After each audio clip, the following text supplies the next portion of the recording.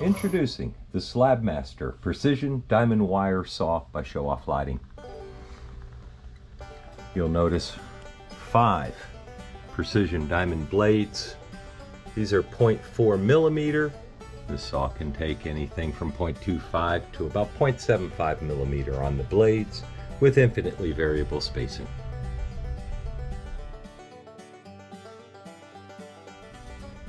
Want to show you the basic operations of this machine. The tools you'll need is just a standard hot melt glue gun, a pair of pliers with cutters, and a Phillips screwdriver.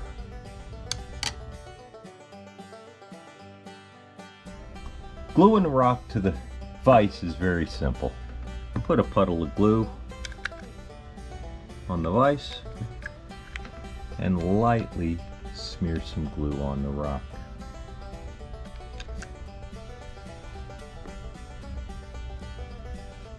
And hold it for just a minute.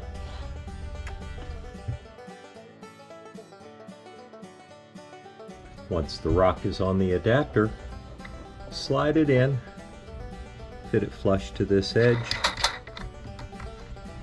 get it tight, and with your pliers, give it two extra turns on the knob. Basic operations is to adjust your water so that it's coming at an angle and then it will fall back into the catch tray. We filled the tray with about an inch and a half of water and on the end you have a water filter sitting down in the water. Your controls are your main on-off switch, your speed control, and your water pump control which is also variable speed.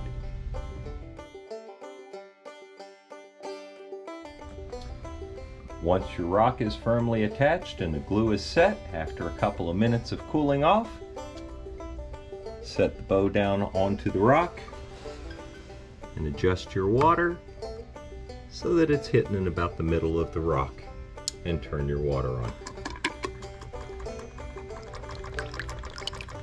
You want to run as low of water speed as you can get away with, and that's about right.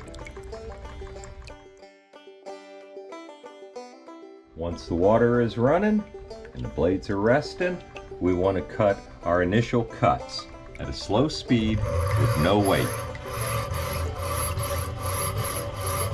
You need to leave it running like this for about a minute to let the blades seep into the rock you can hear the squeaking, and that is the blades cutting back and forth through the rock.